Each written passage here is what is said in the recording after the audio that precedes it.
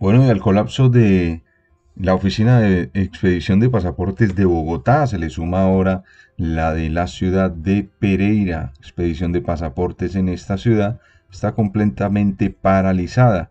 Son 500 las solicitudes diarias que no han sido tramitadas. Oído, hay gran preocupación en la dirección de pasaportes de Risaralda genera el silencio de la Cancillería colombiana sobre el nuevo proveedor de este importante documento, pues la página donde se reciben las solicitudes en el departamento se encuentra colapsada.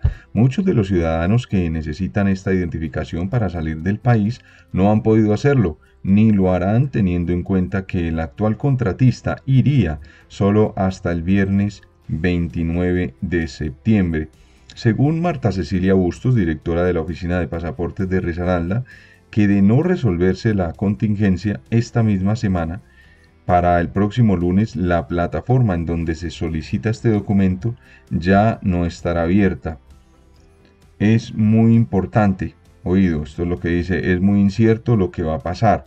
Además, es alto volumen de personas que tienen esta incertidumbre. A veces la plataforma se pone lenta y se retrasa toda la atención al público. Nos han quedado personas pendientes por atender. También la plataforma para el lunes no está abierta. Esto es lo que señala la directora de la oficina de pasaportes de Risaralda. La funcionaria dijo que la crisis en la entrega de los pasaportes no tiene antecedentes en Colombia perjudicando en este momento a miles de personas en el departamento de Risaralda. Y bueno, nosotros sí podemos decir que aquí mismo en el canal está la noticia la semana pasada, un colapso en la oficina de pasaportes de la capital de Colombia, de Bogotá.